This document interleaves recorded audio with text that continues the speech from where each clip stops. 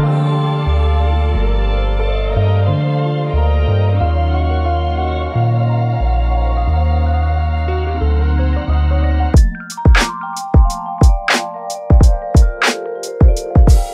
the reason I started studio was I wanted to work with people in my community that were serious about making music.